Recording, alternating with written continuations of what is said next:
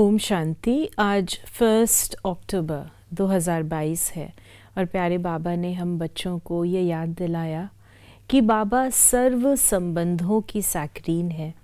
तो ऐसे बाबा को हमें बहुत स्नेह से, सर्व संबंधों से याद करना है।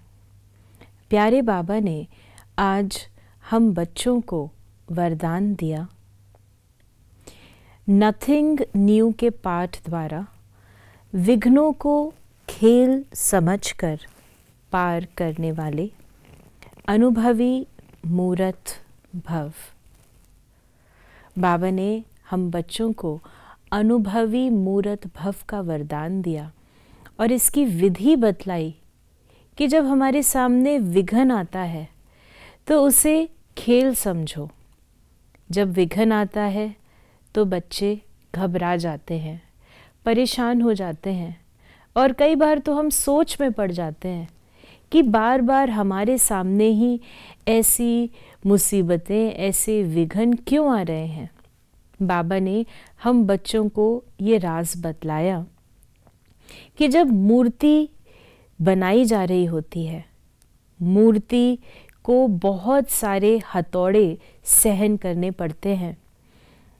लेकिन जब एक साधारण पत्थर होता है। उसको कोई भी हथौड़े सहन नहीं करने पड़ते। हम बच्चों को ये कहानी तो याद होगी कि दो पत्थर, एक जिसने हैमर को हथौड़ों को सहा तो वो पूजनीय मंदिर में पूजनीय मूर्ति बन गई। और एक पत्थर जिसने हथौड़ों को नहीं सहन किया वो उस मंदिर का दर बन गई। अर्थात, जिस पर लोग चढ़कर चले जाते थे, लेकिन जिसकी पूजा और वंदना होती थी, जिसने सहन किया।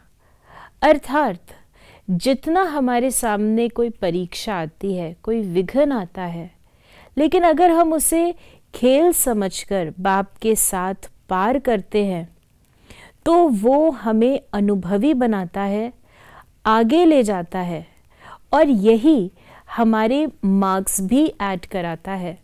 तो बाबा ने हम बच्चों को कहा कि हमें विघ्नों से घबराना नहीं है, बल्कि विघ्नों का वेलकम करना है कि आओ और हम उसे अनुभवी मूर्त बनकर खेल समझकर पार करेंगे।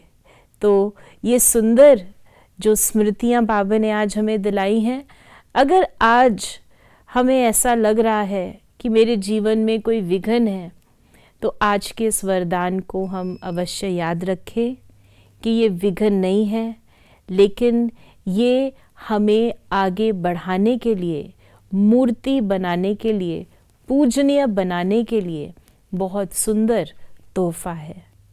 ओम शांति।